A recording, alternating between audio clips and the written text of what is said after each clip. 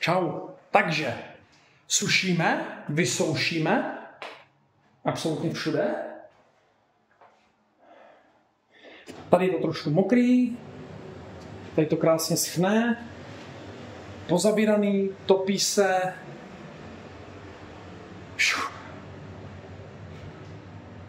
Teď už z toho začíná mě takový ten pocit, jako hele, jakože nějak, nějak to půjde, no. Nějak to půjde, nějak to bude dobrý. Koupelka vyklízená, čistoučká, skoro čistoučká teda. Tady se můžeš koupat. Všechno vyziglený. Metalový záchod to přežil, ale je tam bordílek.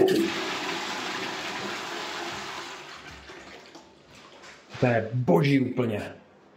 A vzhledem k tomu, že jo, vzhledem k tomu, že je to tady takový teď takovej, taková poloválečná zóna, tak eh, tak je to sekec. Hele, donesli jsme všem různý hygienické prostředky a já nevím co všecko, sousedům jsme dali Martě sama a hygienický prostředky. Prostě každý, co tady potřeboval, tak jsme nakoupili. Ten tam trucuje. Netrucuj. To se nevím. To prostě švihni, zlom to a švihni to do popelnice zlato. A tady jsme taky, do toho baráku, co je tam už donesli nějaký věci, objednaná je vysoušečka. Ten trotek je francouzská značka, takže snad to přijde během pár dní. Že mi to chtějí první zaplatit, etc., etc., etc., chápeme se. A tady vlastně byla joura, komplet, tak to už je zavezený, zatahaný. Teď se to ještě musí, teď se to ještě musí zarovnat celý, srovnat, dát dokupy. OK. Jo, tady když vidím ten nájezd do té pracovny, kolik tam ještě chybí, takže celá divoko. Jinak tady pravidelně jezdí bagr s nákladákem a odvážejí tu naplaveninu. Jo, tam, tam se prostě komplet vytahuje pryč naplavenina. Už to začíná vypadat docela normálně. Tady by potom město, město mělo dělat asfaltku, jo, tady po té příjezdovce, komplet. A ještě vám ukážu zahradu, že tam se prostě takom sousedům se pomáhali se sedačkou, přijela jim sedačka, tak se to tahali úplně brutálně velkou těžkou sedačku. Pšu. A ještě poslední, co musím udělat, je spojit se s velitelem hasičů. Tady ještě vidět vlhkost. Jo? Vlastně posem, posem byla voda. Jo? Takhle. A u nás už to vypadá velmi dobře. Napůl vysušený. Fakt jakože cajk, jo, tady, tady už to skoro nepoznáš, kde byla voda. A tady v rožku už taky OK, jenom zdvížený ty linky toho bahna a to se musí dosušit. Teďka jsme se bavili se sousedem, který mu jsem nesl, on nechtěl být na videu. Jo, nesl jsem mu tam nějaké hygienické potřeby, uh, savo, dezinfekce. Tady, tady, tady ten barák, tam, už, už jo, tady. Střížka. Tak, uh, počkej, co mě to říkal? No, jsme se bavili a říkal mě, hele, je úplně jedno, kolik vody v tom bytě máš. Jestli metr, nebo takhle třeba, nebo úplně dole, ten byt musíš vyklidit, vyčistit, vyprázdnit, vysanovat. Je úplně jedno, kolik vody ti proběhlo bytem. Co je nejhorší, když jsou třeba ty dílny a tak, spousta malých věcí, které prostě jsou zaplavený, zasviněný a musíš je všechny čistit, jo, omývat každou zvlášť, tady dobrý, že vlastně jsme to měli na tom všem špatným je dobrý to, že my jsme to měli čerstvě udělaný. To znamená, tady bylo minimum věcí, které by se dali poničit a poškodit tou vodou. Jo, tady fakt jenom nábytek, nábytek, dveře, sedačka a tyhle ty věci. No jinak vlastně tady se bagruje ve velkým. U mě taky. tam ta hromada ještě půjde pryč. Zůstane jenom krb, skleník, všechny ten bordílek půjde pryč, to ještě vytahají se potom kořeny, srovnají se všechny ty smrčky a tyhle ty blbosti, které jsou tam takový dobouraný.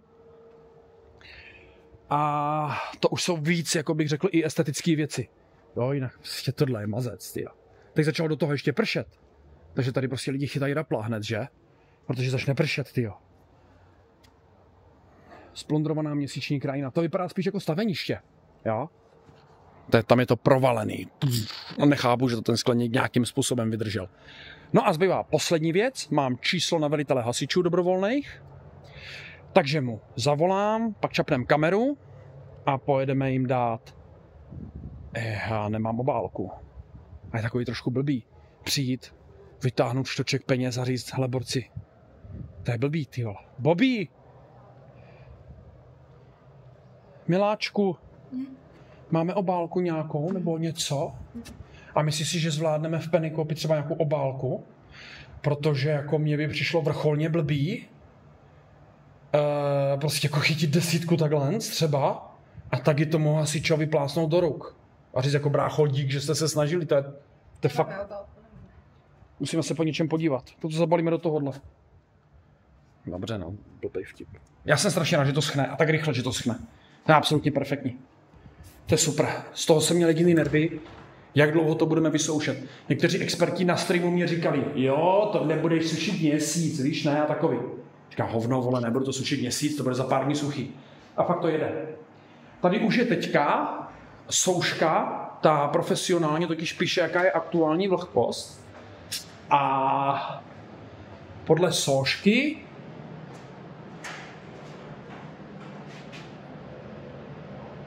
je tady 50% vlhkost, což je super. Já bych teda řekl, že je tady tak minimálně 85% vlhkosti 90, ale když souška říká 50, tak říká 50. Humidity, 50%, my brother. Takže my jdeme sehnat hasiče, jdeme se podívat, kam dojedeme s autem, sehnat hasiče, etc., etc. Ať, eh, nebo velitele hasičů, tak, velitele hasičů. Ať mají prachy na kafe, víš, jak si můžu něco koupit a já nevím tak. Čete, parto, za to díky. Díky vám, hlavně lidem na streamu. A už je většina těch peněz, co jsme, co jsme vybrali, tak už je většina rozprcaný. Bůh to za dezinfekční prostředky nebo prostě za nějakou tu sanitu, tak ta vysoušečka, tak teď ten dárek těm hasičům. To strašně švihadlo, ty Lítá to. A ještě chci posílat, pokud něco zbyde, aspoň třeba pět tisíc, řekněme, tak na Červený kříž. Uvidíme, jak to zbyde, musím to spočítat. Nemám teď vůbec přehled, musím počítat faktory, protože my jsme toho fakt nakoupili hodně. To prostě byly tašky a tašky různých eh, hygienických prostředků, dezinfekčních a podobně. Jo, to, to, to je randál. Soused zatopil, topí se a vytápí se. Co? A osuně se praštila volinku. Jo, máš i barevnou, ty a takovej. Tyjo, ten je, tyjo, to pe... kdyby, kdyby, kdybych byl můj děda, tak vezmu studenou lžičku a... Stačí to vždycky kudlu, a kudlu, no. Jo. A kudla je nebezpečná. OK, takže já jdu zhánět hasiče, asi, a uvidíme. Já domluvím se s ním nějak, prostě. Buď to na tohleto video, nebo třeba na příští. Čus! S hasičema jsme domluvení. Mám obálku. V obálce mám 10... Jo, v obálce, jak to vidíte, jak to tam je, já jim to taky nechci ukazovat těm hasičům, jo. V obálce 10 tisíc. A teď nejvíc, já jsem tady přišel do papíráku a říkám, paní, já potřebuji obálku a ideálně červenou, tak jsem dostal růžovou, nebo něco a, a říkám, a ono mi říká, na co to máte? To je na dárek obálka. Říkám, ano, to je dobře, že to je na dárek obálka, protože vezu hasičům hotovostní dár 10 tisíc korun. A ona mě říká, no tak to ani neplaťte tu obálku. A tady máte ještě jar. A říkám, a manželka by potřebovala rejžák, ne? A tak tady rejžák. Říkám, ale ten něco z toho zaplatím, já to chci zaplatit. A ona mi říká, ne, to nebudete platit. Říkám, tak aspoň ten rejžák. Aspoň ten rejžák zacvakám, ty. A ona se se mnou chtěla hádat, že ani ten rejžák nechce zaplatit, protože jdeme dát hasičům peníze, tyjo. To je absolutně skvělý, hej, tady jsou tak báječní lidi, víš co, jakože jeden skutek se nalepí na druhý a teď to jede, ty já se z toho úplně, já toho mám strašně dobrou náladu, ty Takový, to neznáš z města, víš, jako, a na co to chcete? V Olomouci, kdybych řekl, hele, vezu hasičům prachy, tak mě řekne, a mě nedáš? Víš, jako nebo něco, ty ne, jako, ty je to takový mazdes. Takže jsme domluveni s panem velitelem uh, o půl tady, tady u zbrojnice, takže tady budeme 20 minut sedět jak lopaty. Nebudeme, jdeme se ven protáhnout a já doufám, že pan Ambros nebude mít žádný problém teda s kamerou, no. ale já chci prostě, aby bylo vidět, že jsme to předali, že jsem si ty prachy nenechal, že jsem je nestopil. Víte jak? Jo. Sousedům, co jsem dával dezinfekci, taky nechtěli být na kameře, takže jako mm, ale to nevadí, no tak to jsou prostě důležité věci, že jo, to je, to je trošičku jiný level než tady desítka v hotovosti. Ale jsem zvědavý, kdy dovezou tu vysoušečku, jako si ji dovezou za měsíc, tak nám to nebude už moc platný. Víme jak, jo.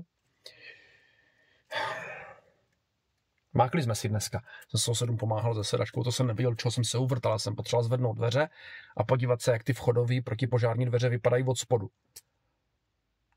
No, tak za odměnu nám pomůžeš se sedačkou. Říkám, jasně, ale a, a i kdybyste mě vy nepomohli se dveřma, teda to byla potvora. To byla bestie obrovská, velká, těžká. To měli s motorem, starší lidi, tak na, aby, si aby se jim to polohovalo přes dálkový ovládání.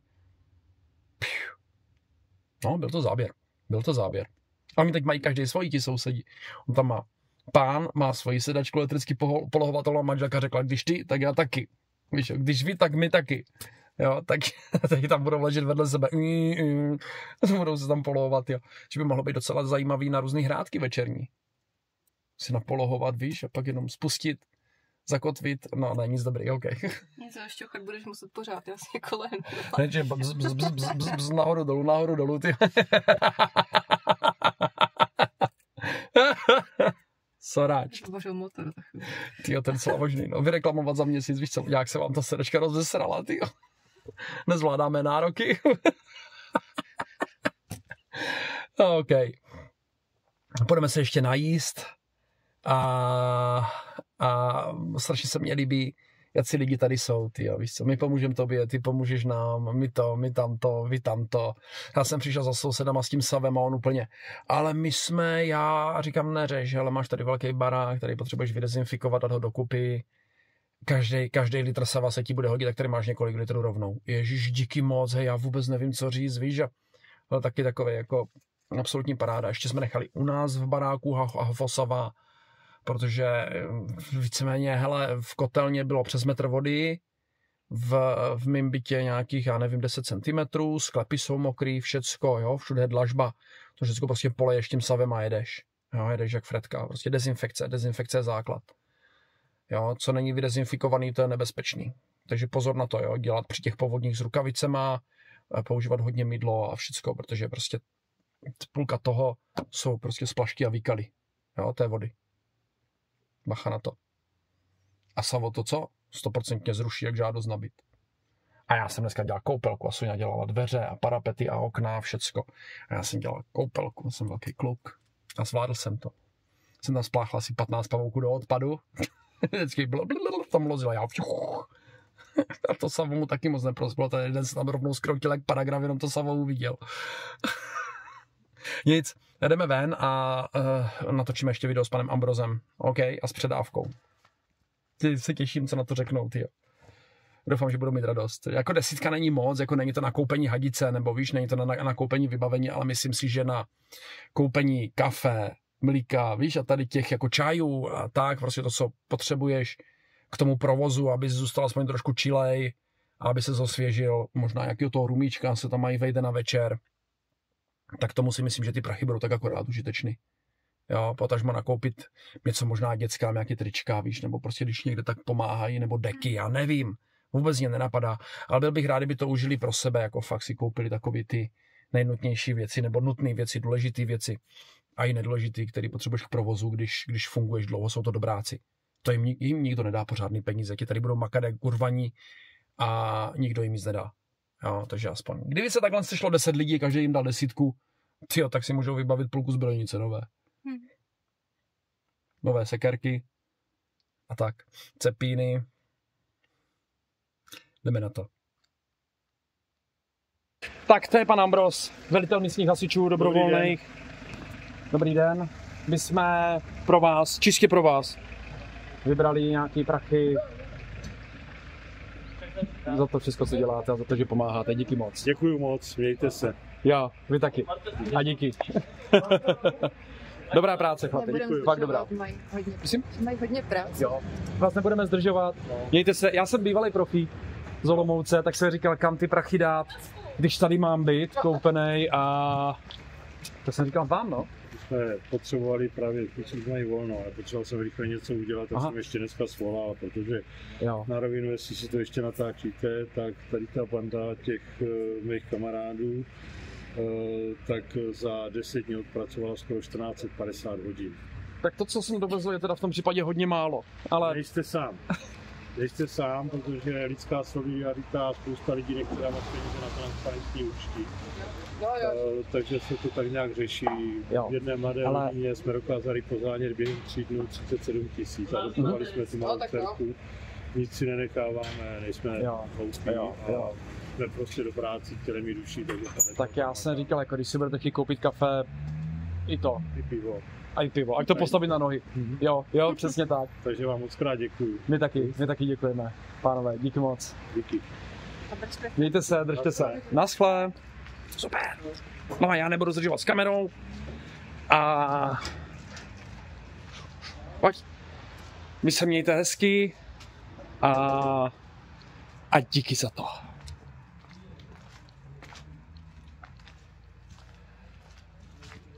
A to je dobrý slyšet, že i ostatní lidi to Víš, jako... Pomáhají. Tak. Jo, jo, jo, jo, jo, je to super, no. Že jsou lidi takhle solidární. Je to čupr. A díky vám. Ještě to nezmizelo. Ještě nezmizela lidská dobrota, jo.